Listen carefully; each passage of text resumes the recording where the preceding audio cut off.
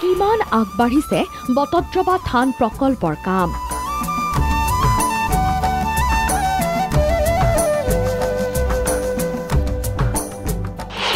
বটবৃক্ষৰ আৰ্হিত উজলিব বটদ্ৰৱা থান।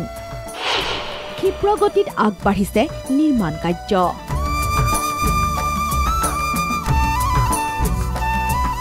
অসমীয়া জাতিৰ মণিকোট স্বৰূপ বটদ্ৰৱা থান।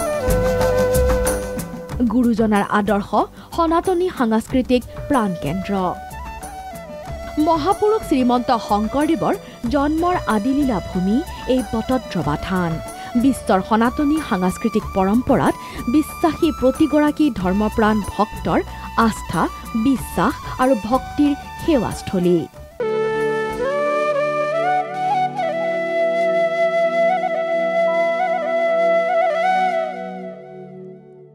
গুৰুজনাৰ স্মৃতি বিজড়িত এই বটদ্ৰৱা থানতে আছে ঐতিহাসিক কীৰ্তনঘৰ পদশিলা পাঠশিলা দৌল মন্দিৰ আকাশী গংগা শিলিখা বৃক্ষ চাৰিহাতী আদি।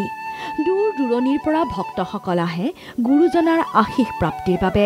এই বটদ্ৰৱা থানক বিশ্বৰ ভিতৰতে এক আটকধুনীয়া ধৰ্মীয় ক্ষেত্ৰৰূপে গঢ়ি তোলাৰ বাবে চৰকাৰে গ্ৰহণ কৰিছে বটদ্ৰৱা প্ৰকল্প।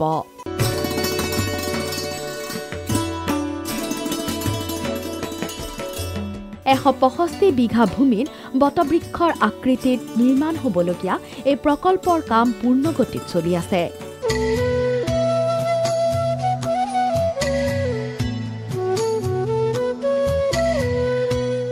মুখ্যমন্ত্ৰী ডক্টৰ হিমন্ত বিশ্ব শৰ্মাৰ নিৰ্দেশত লোক নিৰ্মাণ বিভাগৰ বিষয়াসকলে পৰ্যবেক্ষণ কৰি আছে প্ৰকল্পৰ নিৰ্মাণ কাম।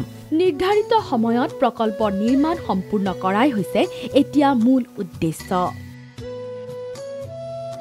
বটদ্ৰৱা থানৰ সামগ্ৰিক উন্নয়নৰ বাবে অসমৰ মুখ্যমন্ত্ৰীয়ে গ্ৰহণ কৰা পদক্ষেপ আৰু প্ৰয়াসৰ বাবে কৃতজ্ঞতা জ্ঞাপন কৰিছে থান পৰিচালনা সমিতি তথা স্থানীয় ৰাইজে।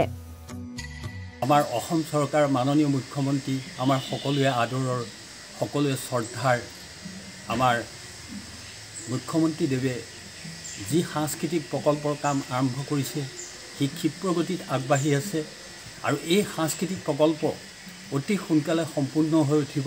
আৰু এই প্ৰকল্প যেতিয়া সম্পূৰ্ণ হৈ উঠিব এই প্ৰকল্পই অসমৰ যি সত্ৰীয়া সংস্কৃতি অংকীয়া নাট নৃত্য গায়ন বায়ন আৰু এই সত্ৰীয়া সংস্কৃতিক বহুত আগলৈ লৈ যাব।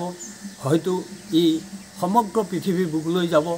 আৰু এই প্ৰকল্প সম্পূৰ্ণ হোৱাৰ লগে লগে আপোনালোকৰ আমাৰ যিখিনি তীৰ্থযাত্ৰী এই তীৰ্থযাত্ৰীৰ সংখ্যা বাঢ়িব।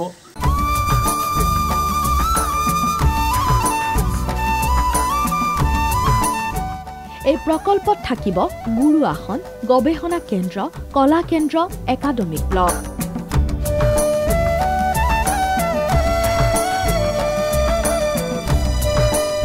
এই প্ৰকল্পই অঞ্চলটোৰ উন্নয়নৰ নতুন ৰূপৰেখা গঢ় দিয়াৰ লগতে নিবনুৱা সমস্যাৰ সমাধান আৰ্থ সামাজিক প্ৰগতি আৰু পৰ্যটনস্থলীৰূপেও উজ্বলি উঠিব।